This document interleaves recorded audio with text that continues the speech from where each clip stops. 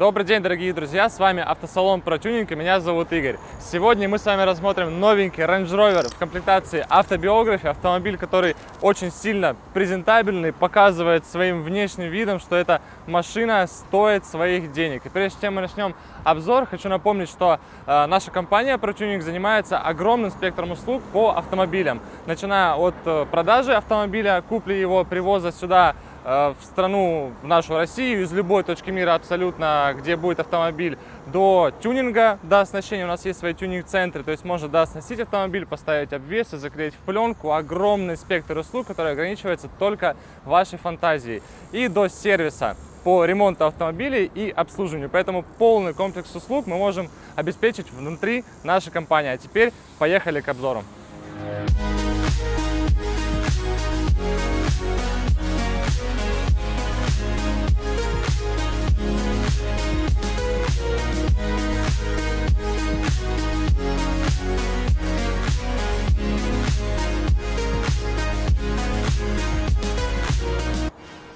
Автомобиль в прекрасном золотистом цвете, так называемый шампань, очень хорошо это смотрится, особенно в сочетании с черными глянцевыми элементами по кузову автомобиля и серым графитовым оттенком. Безумно красиво и дорого все это выглядит, что, собственно, подходит этому автомобилю. По оснащению здесь у нас стоят самые современные матричные фары, которые понимают у нас дорожную обстановку благодаря радарам, которые стоят под лобовым стеклом и могут обеспечить безопасное передвижение по дорогам общего пользования, особенно в ночное время суток. Далее переходим к передней части. У нас здесь имеется камера, которая относится к круговому обзору 360, потому что машина у нас достаточно большая, тем более это еще и лонг-версия, и благодаря этим камерам очень удобно нам парковаться или перемещаться в очень узких э, пространствах. Еще одним, кстати, э, дополнением к этому удобству маневрирования автомобилем в узких пространствах является то, что задняя ось у нас может подруливать. И вот такая большая машина может разворачиваться с очень коротким радиусом во всех труднодоступных э, местах. Очень удобно и очень необычно, непривычно это выглядит, когда первый раз садишься за руль данного автомобиля. Машина у нас 2023 года была пригнана абсолютно новой из Германии прямо сюда, в город Краснодар, на улицу Российская, 263. Э, на ней установлены 23 колесные диски, это оригинальные колеса Range Rover, которые выкрашены в черный глянец, про что я и говорил, что у нас идет сочетание цветов, как и по всему автомобилю, что золотистый такой цвет, снизу пороги у нас идут черный глянец, крыша, колеса, все очень так прекрасно друг с другом сочетается. За колесами у нас установлена очень э, массивная, большая тормозная система с большим тормозным диском. И э, я думаю, это вполне можно назвать спортивной э, тормозной системой, потому что очень большая машинка у нас, суппорт, который еще выкрашен в черный глянцевый цвет с белой гравировкой Land Rover.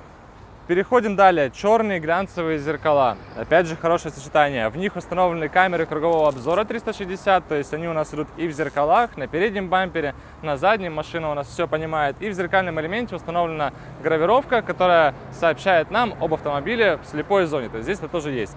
Дверные ручки обновленные, которые могут выдвигаться, задвигаться обратно в двери. Очень удобно. Это сейчас такая новая тенденция пошла.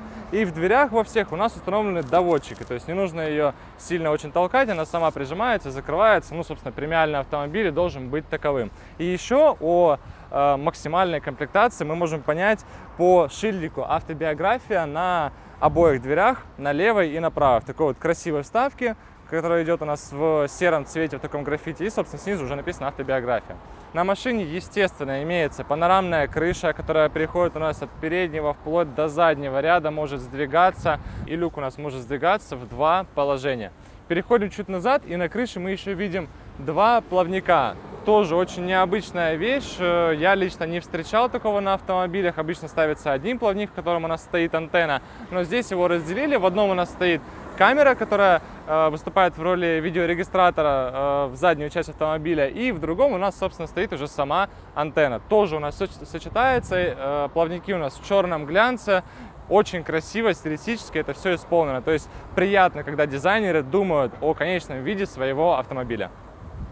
Переходим к задней части автомобиля. Еще раз я повторю вам про черный глянец, потому что э, стоп-сигналы у нас находятся в левом и в правом крыле, которые вроде бы сочетаются с этими молдингами сверху и снизу автомобиля и создают с собой такое кольцо цельное, но Эта часть у нас, собственно, черный пластик глянцевый снизу, у нас тоже графит, а боковые элементы это стоп-сигналы. То есть при включении автомобиля, при торможении они загораются и э, появляется, собственно, сама индикация, что автомобиль у нас останавливается. Но в выключенном состоянии это все образует единое целое. Тоже очень приятно, что даже такой маленький момент у нас был э, просчитан. И в принципе, если посмотреть на заднюю часть автомобиля, она очень сильно видоизменилась, э, в отличие от предыдущих кузовов. Но это все тот же узнаваемый Range Rover со своими такими массивными формами и характерными чертами для своей линейки. Одной из главных фишек в багажнике этого автомобиля является вот такая вот спинка, благодаря которой можно сесть на нижнюю крышку багажника, облокотиться. Еще здесь имеется два подстаканника, чтобы можно было с комфортом наслаждаться своим отдыхом. Смотрим теперь в сам багажник. Сейчас мы сложим спинку достаточно большое количество места. Здесь имеется целых 4 плафона подсветки, то есть э, ночью вы точно увидите, что у вас здесь творится, потому что в некоторых автомобилях иногда не хватает света. И еще два плафона у нас имеется в крышке багажника, то есть света здесь будет более чем достаточно.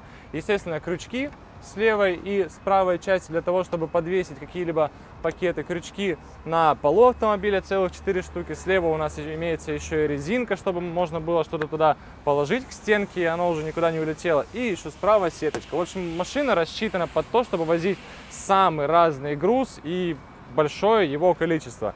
И на правой части здесь мы видим э, блоки управления самим э, багажным отсеком, то есть можно сложить сиденье, как правую часть, так и левую его, чтобы у нас было еще больше места для груза, который будете перевозить.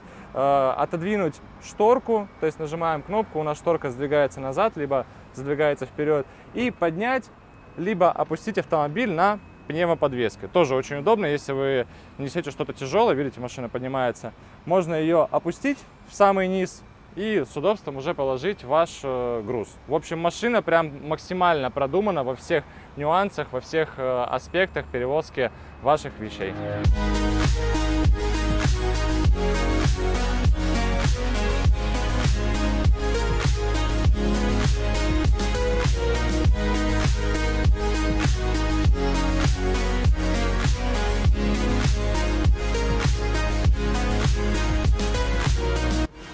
Так как это автобиография, количество и качество премиальных роскошных материалов в салоне здесь просто зашкаливает. Начинается от э, кожаных элементов на подлокотнике, дополнительных э, подлокотников под каждое сиденье. Это такая, э, такая фишка Range Rover, каждого именно максимальных их версий. На панели приборов у нас имеется также сверху черная кожа, снизу она такая бежевая, даже потолок у нас сделан из кожи. То есть абсолютно все, к чему вы прикасаетесь, у нас максимально приятно, ручка КПП выполнена с очень такого мягкого, тактильно приятного материала. И на руле у нас здесь имеется вставка из черного рояльного лака. В общем, э, абсолютно в каждом элементе здесь э, постарались, не пожалели абсолютно и сделали действительно хороший салон, который максимально приятен абсолютно каждому, кто сюда садится.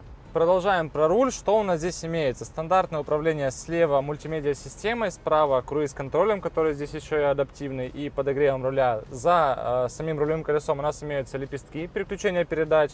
И если мы посмотрим дальше за руль, у нас имеется современная приборная панель, которая полностью электронная. В ней же у нас встроена навигация, спидометр, ну и, собственно, все, что имеется для Э, того, чтобы вы понимали, что у нас происходит с автомобилем. И далее мы еще видим проекцию на лобовом стекле, чтобы вы не отвлекались от дороги, потому что это тоже элемент пассивной безопасности. Обновленная мультимедиа-система находится у нас по центру салона. Естественно, у нас здесь э, имеется все от э, Android Auto, CarPlay, различных настроек автомобиля. И еще здесь же можно отследить качество воздуха, который автомобиль забирает снаружи, с улицы и которые поступают у нас в салон. А, по цифрам, а, то есть у нас качество загрязнения воздуха на улице выдает 23 очка, а в салон уже заходит 14. То есть, собственно, достаточно хорошо очищается воздух, и это тоже очень важно, потому что в автомобилях, в которых имеется грязный воздух, либо система кондиционирования у нас затхлая, а, имеет в себе достаточно большое количество плесени, это влияет на ваше здоровье, это тоже очень важно. Кстати, очистить э, систему кондиционирования от плесени можно в нашем сервис-центре, так что смело обращайтесь. Переходим чуть ниже, и мы видим у нас э, отдельный блок для управления климат-контролем, который здесь четырехзонный. Ну, в таком автомобиле, я думаю, другого ожидать и не стоит. И очень интересная деталь, и очень интересная вещь, на которую я обратил внимание, когда сел в автомобиль и увидел вот эти вот э, шайбы регулировки Э, температуры и подачи воздуха, то что э, тут у нас написано либо push, либо pull, то есть надавить, либо потянуть. Если мы просто будем крутить ее, то мы будем выставлять температуру. Если мы на нее нажмем, мы будем выставлять, э, собственно, вентиляцию, либо подогрев сидений. Если мы на нее мы потянем ее на себя, мы уже будем настраивать Э, поток воздуха, его силу. Очень интересно, что это все э, сделали в одном элементе, не стали выводить в большое количество кнопок, и поэтому у нас салон смотрится достаточно современно и минималистично, потому что все кнопки, которые у нас между этими шайбами идут еще и сенсорные, поэтому достаточно красиво все это выглядит. И, кстати, еще одной деталью, которую я здесь заметил, э, как и с кузовом, сочетание такого золотистого цвета в коже бежевого идет у нас с черным глянцем. То есть и снаружи, и внутри прослеживается одна и та же стилистика, что очень классно. Опять же, дизайнеры думают над э, своим, своим автомобилем и снутри, и снаружи него. Чуть ниже блока управления климат-контролем у нас находится дополнительная ниша, которая у нас сдвижная. Опять же, черный рояльный лак, как в этой нише, так и та, которая находится ближе к нашей руке.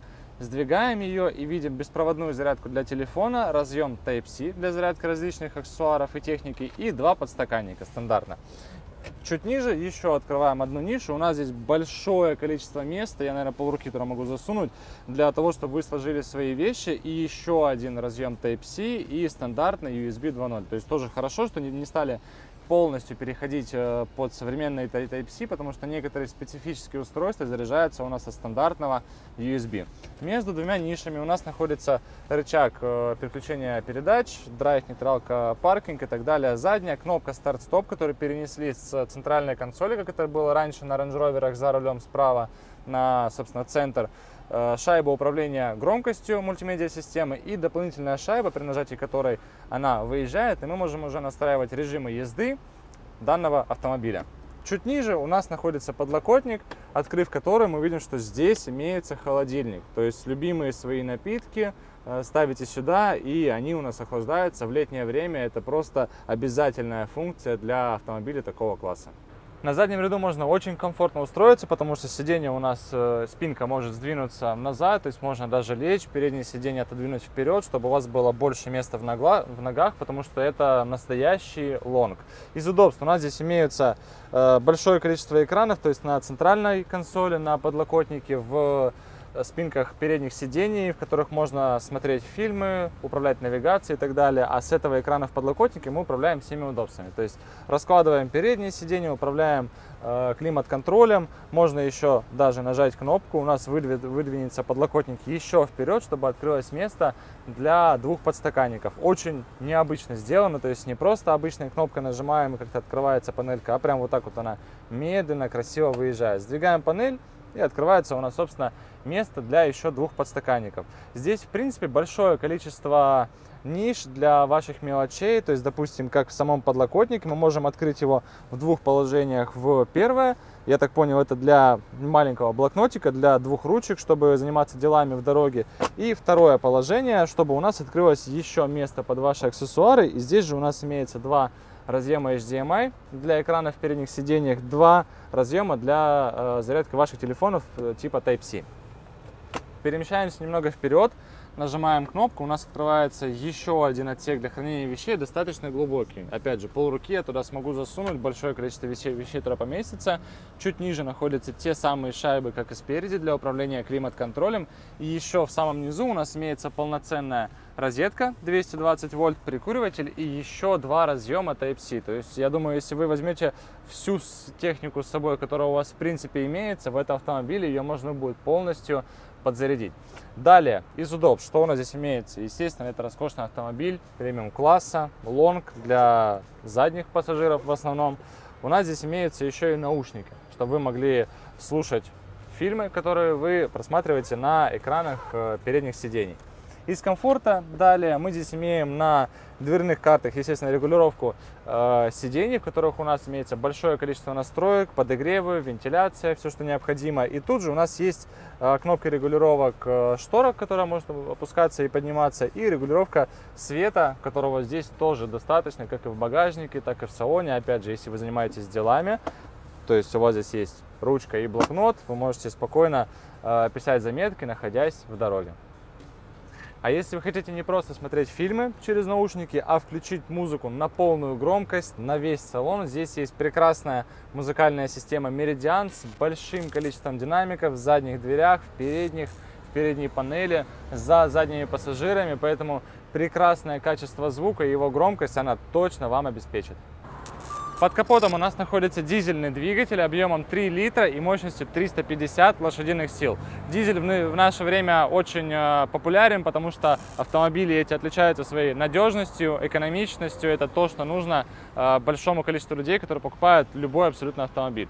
Я еще раз напомню, что машина у нас 2023 года, абсолютно новая, пригнана из Германии, находится в городе Краснодар на улице Российская, 263, так что можете приехать и ознакомиться подробнее лично с этим автомобилем. И еще раз напоминаю, что мы можем привезти абсолютно любой автомобиль, о котором вы мечтаете, из любой точки планеты в самые короткие сроки в нашу страну. И у нас есть салоны в городе Краснодар, Москва и Ставрополь. А также напоминаю про наши тюнинг-центры и сервисы по ремонту автомобилей. И обязательно подписывайтесь на канал, чтобы не пропустить новые ролики по автомобилям.